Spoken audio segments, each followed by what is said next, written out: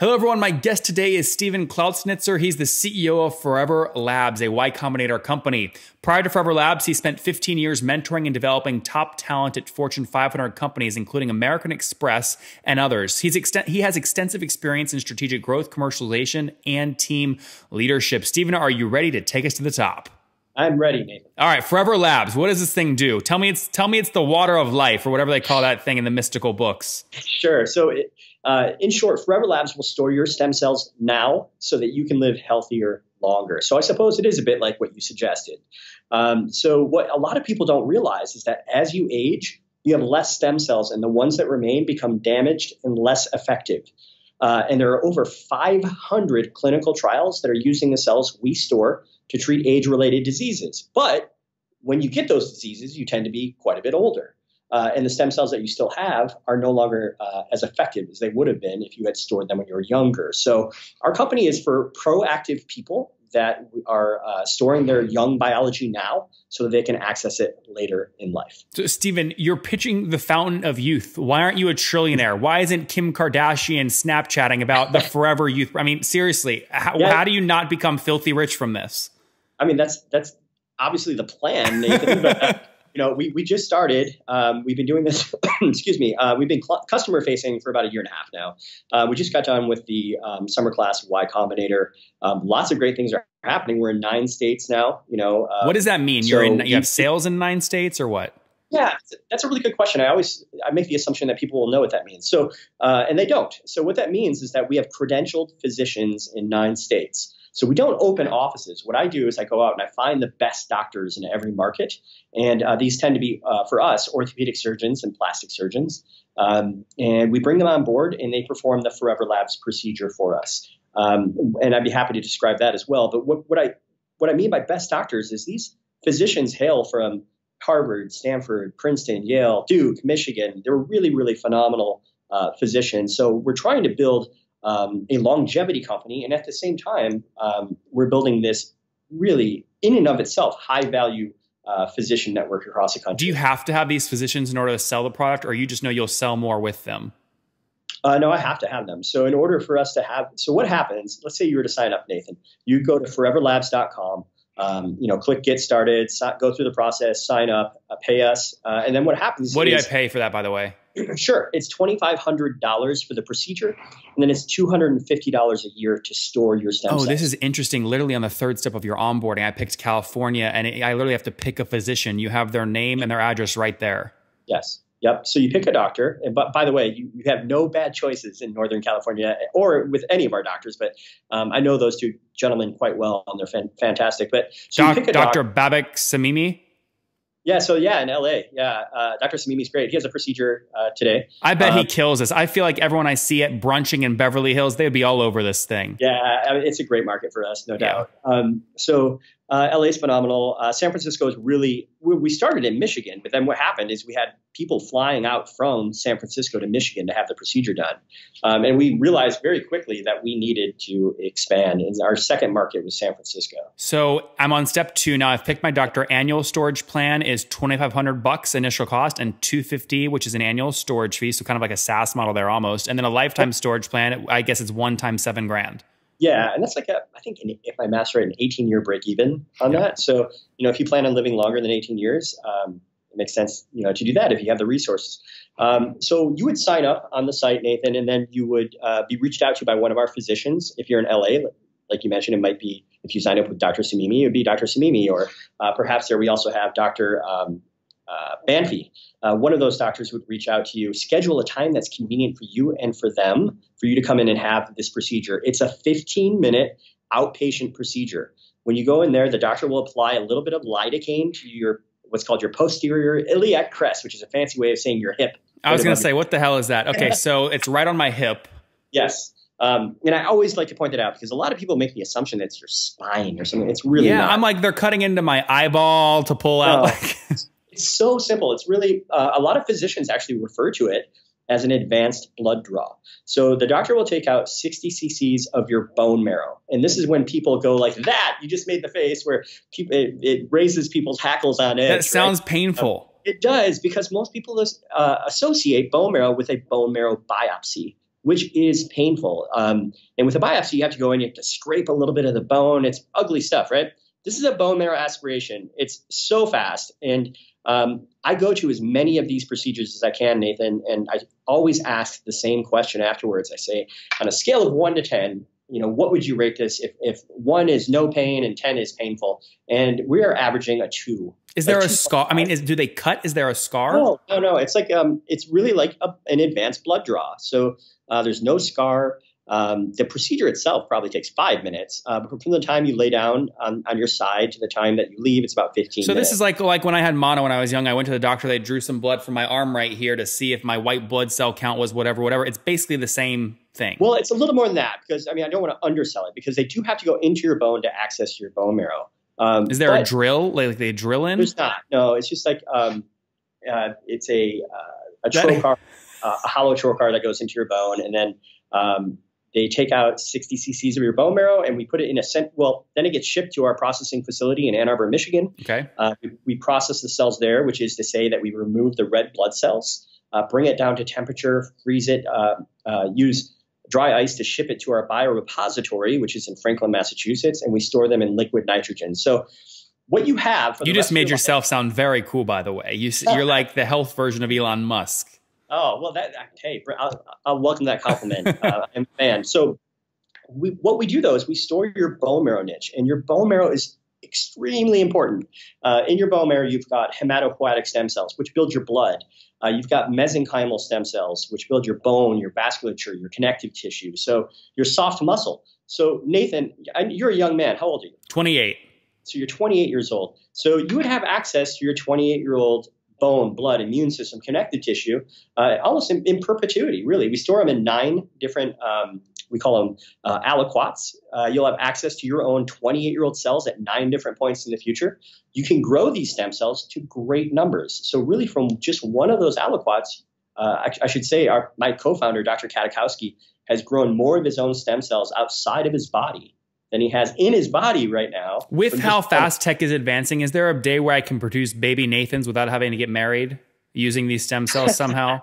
yeah, I mean, I'm sure that is. I'm honestly, I'm, I'm sure that it's coming. In fact, um, I mean, I'm, I'm being quite, a little facetious here because like what you're actually selling is the person like buys this because they want to be able to go tell their friends they're storing their stem cells in some polar mountain somewhere and make them sound really cool. Like that's well, that might be some of it. I mean, like there's that's why I would. That's what would sell me, by the way. Yeah. So Nathan, there's there's definitely some early adopters that I think like just the signaling that you've done this is like really cool, right? Yeah. But the reality is the the reality of what you've done is way cooler than that. So, so, how does it help me actually in the future? Yes. So I mentioned briefly there's over 500 clinical trials using these cells. These trials are are not for some fringe diseases. We're talking about cardiovascular disease, stroke, Alzheimer's. So, um, and some of these are in phase three. Cardiovascular disease and stroke are in phase three. That's the number one and the number three killer of our species, respectively. So, uh, uh, what they're finding is you can, for example, at Johns Hopkins, they took uh, these bone marrow derived mesenchymal stem cells, that same ones we store for you,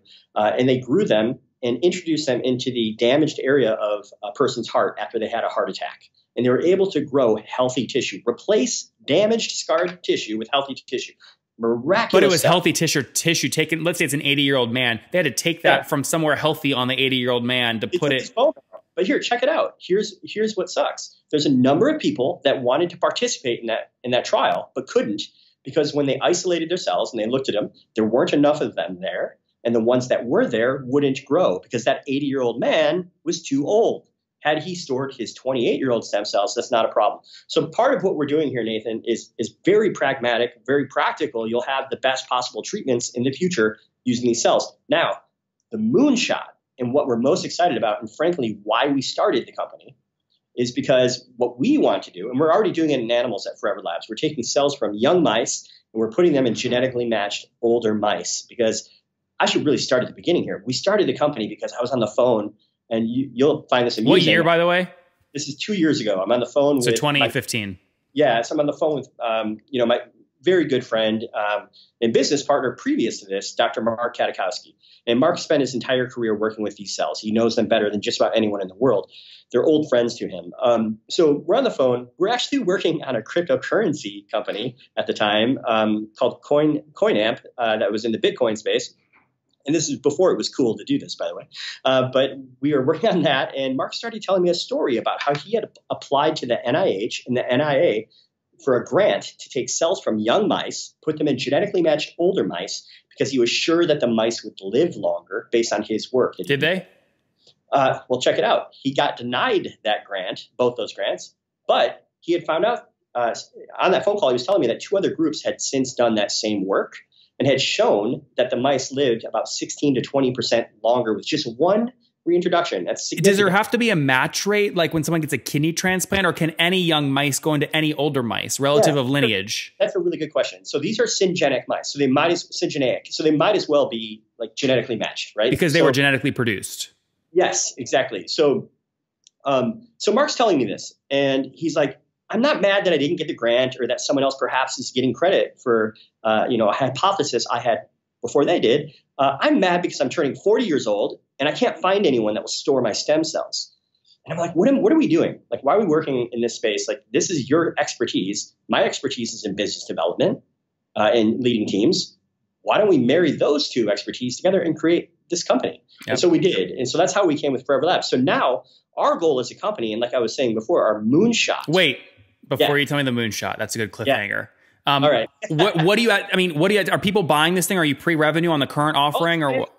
Yeah, yeah. So we're in like we're in nine states. We have over 200 or no we're just about at our 200th client right okay now. that's good so almost 200 people have gone through this and they're they've bought yeah. they've paid you something these aren't like free giveaways no no no they paid us and okay. um, the cool thing uh, nathan you know as a fellow entrepreneur that you'll appreciate is that they're now referring their friends and family which is you know the ultimate so that's um, that's happening. So, it, so just to be clear, there before we go to the moonshot. So, I mean, if you've got those 200 folks, right, that have paid at least two grand each if they're on your first plan. I mean, that's 400 grand in revenue there. Plus, yeah. you have a recurring stream that's slowly growing under that. That's at, at about 50 grand if they didn't choose yeah, a lifetime. Like 45,000 in recurring revenue. You have to remember some of those people signed up for the lifetime plan, right? Yeah, which is good for your cash flow, by the way. Yes, it's nice as a young company to have those people coming in too. Okay, you give me the moonshot the moonshot. And what we're seriously most excited about is the ability for. So I'm 40 years old now. My Are you cells, really? Yeah, I am. Uh, and my stem cells are 38. So I want. I'm going to take my 38 year old cells when I'm, I think about 45 years old. I'm going to grow them, and I'm going to start reintroducing them intravenously, and not to treat any specific disease or um, just to reconstitute my stem cell niche. How does that actually happen though? Do you take them and like crush them into a powder like a protein shake and put it in your morning juice and drink it? Like how do you do that? No, we thaw them and we grow them in a culture medium. Um, and you know, my team's been doing this for 17 years, so it's really old. How does it get reintroduced though, to your body? Just uh, intravenously. You just what like, is that? An IV, like right. You know, when you get uh, oh. you have an IV, it's just very, like just like you could get pumped with fluids after a night out. Yeah, abs- yes, absolutely. You've had many of those nights, haven't you, Steven? I, I'm about to have one tonight. So yeah, we um, it would be the ultimate fluid though, right? So this is like 28 year old Nathan is is the ultimate um, reintroduction when you're 30, 35 years old, 40 years old. So so can uh, this make people? I mean, live to be a million years old? I mean, where does this break? Yeah, so it's funny it's we're like I mentioned, we're nine markets now, and if we're in Michigan or North Carolina, um, it's a much more pragmatic market. People signing up there are signing up in order to treat perhaps a family disease. Cardi- they maybe have a family history of cardiovascular disease or osteoarthritis or rheumatoid arthritis, what have you. People in San Francisco and LA, though, they're looking at longevity, right? And it's funny, we throw this party in San Francisco. It's actually a pretty amazing party. Uh, I'll send you an invite. It's uh, called the Longevity Soiree and it's a bunch of longevity founders and influencers, lots of VC. Um, and you would be, you would be. Uh, Are these all old people that wish they were cute again, or what? No, it's a lot of cute people that don't want to get old. Okay, also, okay, I'm in. no, you'd be, you'd fit right in. All right, good. But, um, so, anyways, the talk there though is different than it is in those other markets. The talk there is about things like escape velocity, right? Like, how do we get to a point where we're aging? Um, uh, like technology is advancing faster than we're aging, right? So we're able to replace the parts in our body faster than uh, the damages are accruing, so that yeah, it's, it's, a, it's a delta, not a finite. It's the yeah. delta of two changing things. Yeah.